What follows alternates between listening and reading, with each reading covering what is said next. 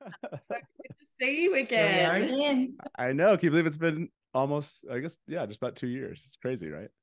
It's crazy. It's crazy. Uh, Crazy. well, I know we have, a, we have, I know we have a short time. I'd love to just chat about kind of what's going on, but I thought I'd ask you a couple questions. Uh, so you both end up back at the White Tower in season two.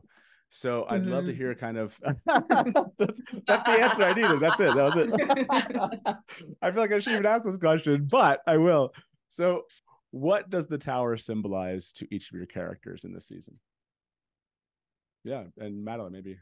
Yeah, I mean, at the start of uh this season, I think Egwene is having a bit of a uh conflict of uh confidence and a bit of an identity crisis, to put it uh, bluntly.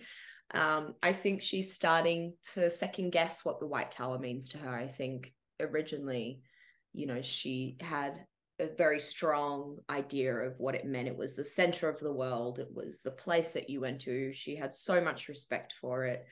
Um, and now I think she's starting to feel like it might not be the place for her, you know. Um, Hmm. She's very much an idealist. And I think she's feeling a bit invisible and a bit lost there.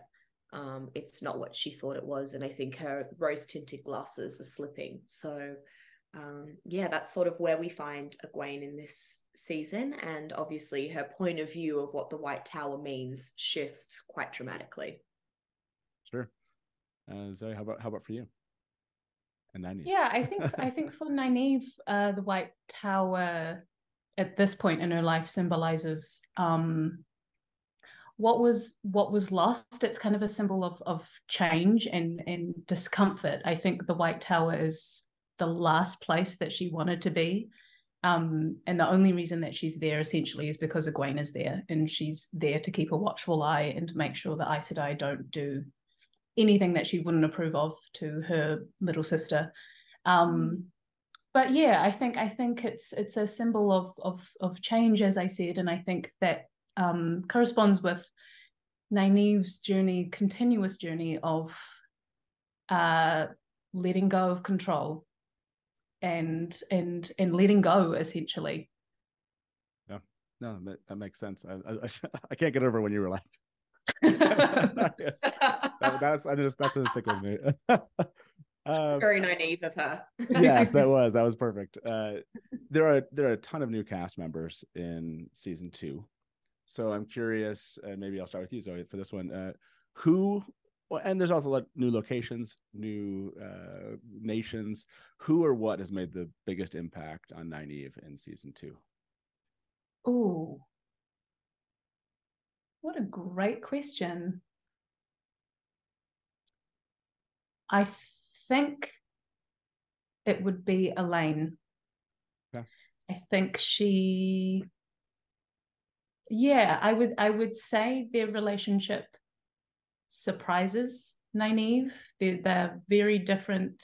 They relate to one another very in, in very different ways, and there is a huge shift in how they think of one another from the beginning of season two to the end of season two.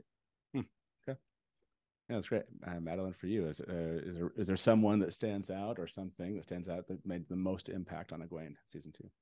Absolutely. There certainly is someone that stands out. Um, I think, you know, book fans and uh, people who are aware of, you know, Gwen's journey will know who I may be referencing, but there is a person that comes into the fold uh, later on in the series, which has a massive lifelong effect on Egwene. Their relationship is incredibly complicated and uh, brutal, but also uh, a relationship that Egwene will never forget and will forever change her.